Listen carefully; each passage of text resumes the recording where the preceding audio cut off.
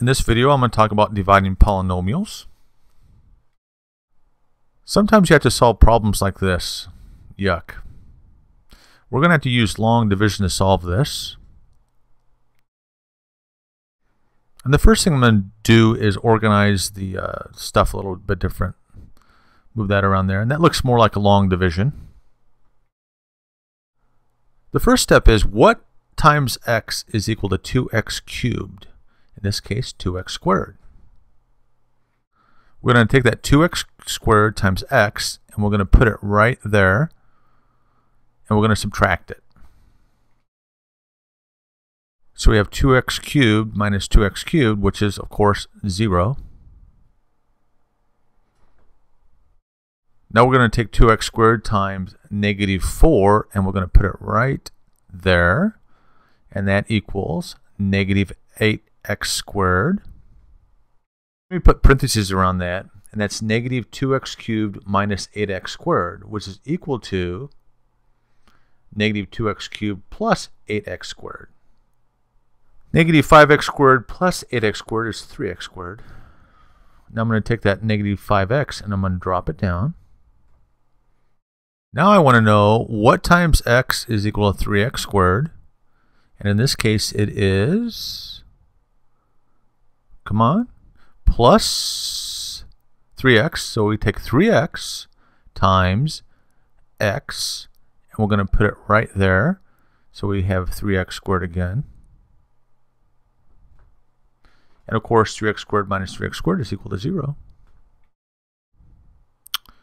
Now, we take 3x times negative 4 and put it right there, which is negative 12x. Again, we factor in the negative sign, which makes this 3x squared plus 12x.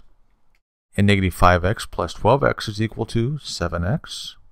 Now we take that negative 22 and we're going to slide it right down. Right, come on, come on, come on. There it is. What is times x is equal to 7x, which is that right there. And of course that is 7. So 7 times x is 7x, and we're going to put it right there. And 7x minus 7x is 0. Now we take 7 times negative 4, and we're going to put it right there, and that would be negative 28. Last time I checked, that's correct.